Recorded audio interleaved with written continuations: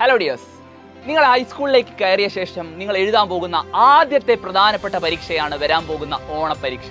അതിൽ തന്നെ ഒരുപാട് ചാപ്റ്ററുകളാണ് നിങ്ങൾക്ക് പഠിക്കാനുള്ളത്. വളരെ ചുരുങ്ങിയ ദിവസങ്ങൾ മാത്രമാണ് മുന്നിലുള്ളത്. എങ്ങനെ പഠിച്ചു തീർക്കും എന്നറിയാതെ നിങ്ങൾ പലരും ടെൻഷനിലായിരിക്കും പലരും ഒരു സീരിയസ്നെസ് കൊടുക്കാതെ കളിച്ചു നടക്കുകയായിരിക്കും. ഈ രണ്ട് കൂട്ടരും അറിഞ്ഞിരിക്കേണ്ടത് അത്രയധികം പ്രാധാന്യത്തോടു കൂടി കാണേണ്ടതാണ് വരാൻ പോകുന്ന ഓണപരീക്ഷ കാരണം നിങ്ങൾ ആദ്യമായിട്ടാണ് നാൽപ്പത് മാർക്കിന്റെ പരീക്ഷ എഴുതുന്നത്. ഇതുവരെ നിങ്ങൾക്ക് മാർക്ക് സിസ്റ്റം ആയിരുന്നില്ല ഗ്രേഡ് ആയിരുന്നു. എ ഗ്രേഡ് ബി ഗ്രേഡ് എന്ന് തുടങ്ങിയ ഗ്രേഡുകളായിരുന്നു. അത് മാറി മാർക്ക് സിസ്റ്റമാണ് ഈ വർഷം മുതലുള്ളത്. അതായത് ഈ മാർക്ക് നാൽപ്പത് മാർക്കിന്റെ പരീക്ഷകളാണ് ഓരോ സബ്ജക്റ്റിലും നിങ്ങളെ കാത്തിരിക്കുന്നത്.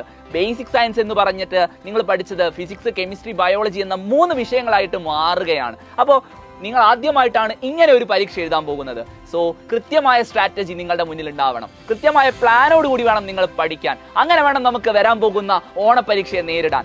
എങ്ങനെ പരീക്ഷയ്ക്ക് പഠിക്കണമെന്നും എന്തൊക്കെ പഠിക്കണമെന്നും ഏത് രീതിയിൽ പഠിച്ചാലാണ് നിങ്ങൾക്ക് അല്ലെങ്കിൽ ഏത് രീതിയിൽ പരീക്ഷയെ നേരിട്ടാലാണ് നിങ്ങൾക്ക് ഫുൾ മാർക്ക് നേടാൻ കഴിയുക എന്ന് പറഞ്ഞു തരാൻ വേണ്ടിയിട്ട് നിങ്ങളുടെ പ്രിയപ്പെട്ട ഫാക്കൽറ്റീസ് എല്ലാവരും വരാൻ പോവുകയാണ്. ഇരുപത്തി മൂന്നാം തീയതി വൈകുന്നേരം ഏഴരയ്ക്ക്. എന്താണ് നമ്മളുടെ സ്റ്റഡി പ്ലാൻ എന്ന് പറഞ്ഞു തരാൻ വേണ്ടി ഞങ്ങൾ ഓരോരുത്തരും നിങ്ങളുടെ എല്ലാ പ്രിയപ്പെട്ട ഫാക്കൽറ്റീസും നമ്മുടെ ലൈവിൽ ഉണ്ടാകും നിങ്ങൾ ഓരോരുത്തരും ഉണ്ടാവണം. നിങ്ങളുടെ എല്ലാ ഫ്രണ്ട്സിനെയും കൂട്ടിക്കൊണ്ട് സൈലത്തിന്റെ ലൈവിലേക്ക് വരിക. അത്രയും ഗംഭീരമായിട്ട് ഇനിയുള്ള ദിവസങ്ങളിൽ നമുക്ക് പഠിക്കണം. നമുക്ക് ഓരോരുത്തർക്കും ഫുൾ മാർക്ക് തന്നെ ഉറപ്പിക്കണം.